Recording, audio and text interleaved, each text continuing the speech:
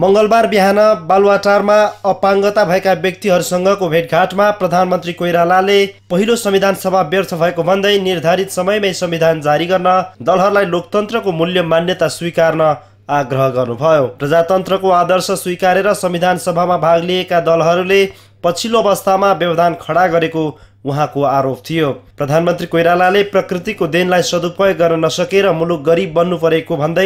भारतसँग भएको जलस्रोत सम्झौताले मुलुकलाई समृद्धितर्फ लैजाने विश्वास व्यक्त गर्नुभयो तेइसौँ अन्तर्राष्ट्रिय अपाङ्गता दिवसको सन्दर्भमा आयोजित कार्यक्रममा सरकारवालाहरूले